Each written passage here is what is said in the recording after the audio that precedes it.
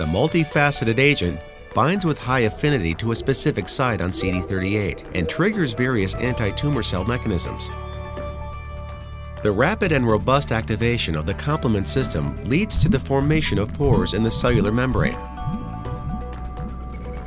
Ions, small molecules in water, pass through the pores and enter the cell, causing it to swell and rupture.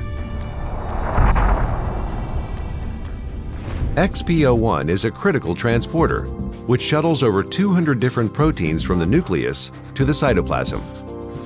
Many pathological conditions alter the function of XPO1, thus interfering with the normal cellular localization of proteins. SINE compounds are able to block the transporter XPO1 and retain crucial proteins in the nucleus. This can limit viral replication, reduce inflammatory signals, and even induce death in cancerous cells. The gel is injected directly into the deep dermis, where it shows an immediate filling effect and corrects the localized loss of volume.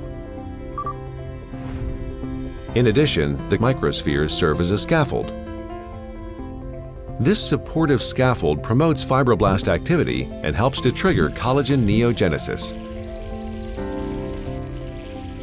Over time, the newly produced collagen network strengthens the tissue connectivity in the dermis, and the gel carrier begins to degrade.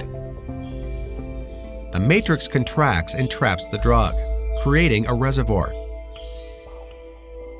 In a final step, the polymer insert is placed into a woven polyester retrieval tape. The hydrogel polymer insert absorbs moisture and swells, the resulting concentration gradient facilitates the controlled release of the active substance bound in the matrix. The substance is converted by bacteria in the colon into an active metabolite. This then stimulates nerve endings in the intestinal wall,